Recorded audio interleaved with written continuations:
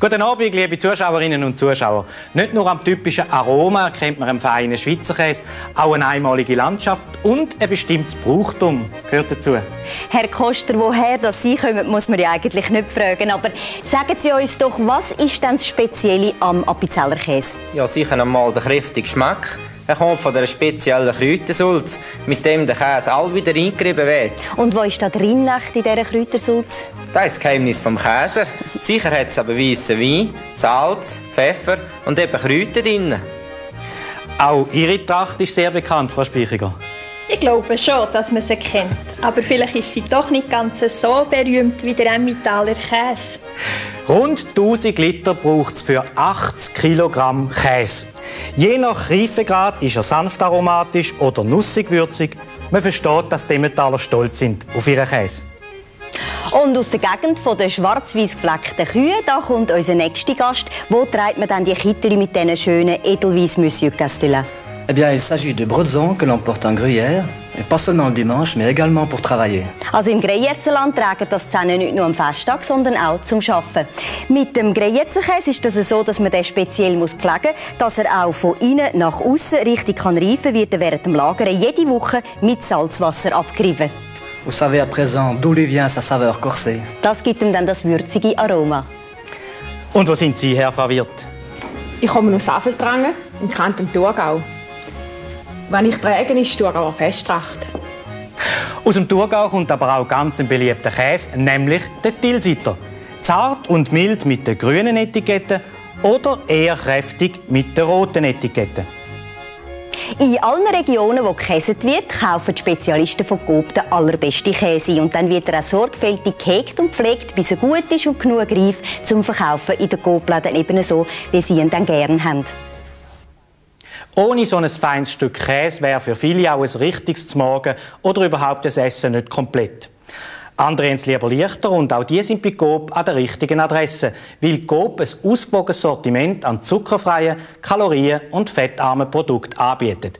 Zum Beispiel das schmackhafte Kleienbrot mit natürlichen Ballaststoffen für Ernährungsbewusste. Der Kefir von Kristallina aus teilentrahmter Milch hat wenig Kalorien und ist sehr bekömmlich. Hirz, der körnige Frischkäse, ist ein Genuss auf Brot, passt aber auch zu Fleisch, Salat und Geschwellte. Midi Leger ist ein vollaromatischer, zuckerfreier Konfi. Sie enthält keine künstlichen Süßstoffe und hat 50% weniger Kalorien. Das Breitleid mit dem prickelnd frischen Geschmack von Zitrone und fast keine Kalorien.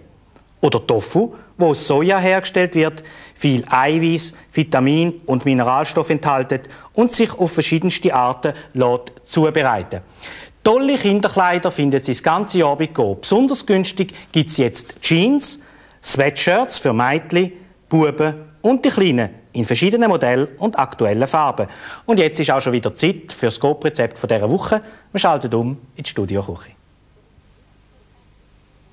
Für unser heutiges Rezept brauchen wir einen Blätterteig, zwei Tom, zwei Beeren und ein Ei.